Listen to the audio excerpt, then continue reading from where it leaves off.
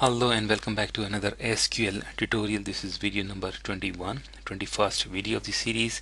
We are learning SQL step by step slowly. In last video we learned basic functionality of sum function and by using sum function we calculated a sum of all values in a particular column. You can use sum function for any column that has a data type of number. So of course you cannot use sum function for this column. The data type is varchar2 we calculated a sum of all values in a particular column.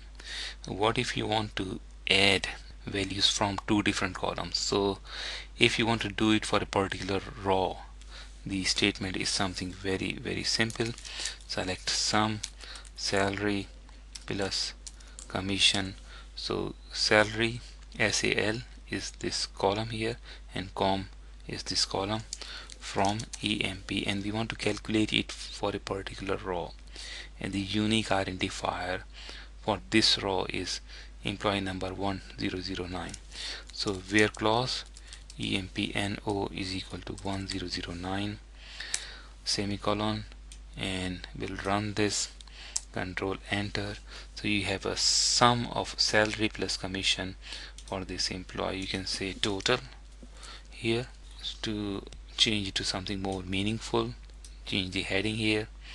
And you have a total uh, of $3,800 now there are times when you would want to have a total value of all rows and more than one column. Notice this column has some null values and it becomes tricky.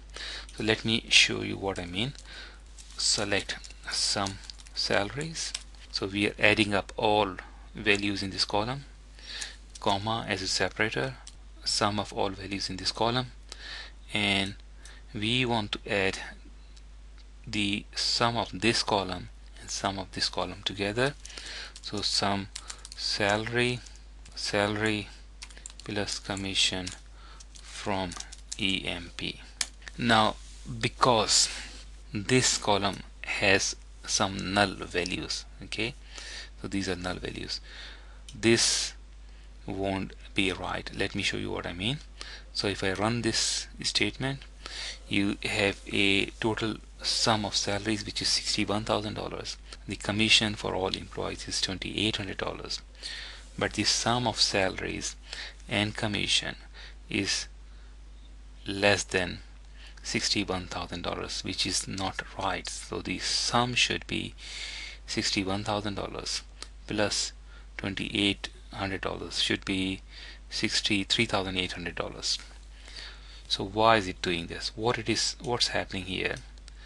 It is actually calculating a sum of all values where the commission is not null. So it has calculated a sum of this value this value this value this value this value this value this value this value and this and this. It has ignored the rows that have null value in commission. So how do we fix this so we can use a function another function which is uh, a coalesce function. So we'll say select sum salary. We'll add a plus sign and C O A L E S C E. Very difficult for me to remember the spelling of this word. And sum and another bracket commission bracket close and comma and 0 so we are replacing null values here with 0 and bracket close from EMP so it will give us a total value of 63,800 something uh, if I'm not wrong. So 63,800 uh, dollars. So this is the right calculation. You can also say sum salary comma as a separator sum commission comma as a separator. Now you have a sum of all salaries sum of all commission and then a sum of salary plus commission which should be this value plus this value. And we'll run this statement again. And you have $61,000 which is the total sum of salaries. $2,800 which is the total sum of commission and the sum of salary plus commission is $63,800 so that's how you deal with that is one of the ways you can deal with null values. When using sum function you have to be very careful. Thank you very much and I'll come back again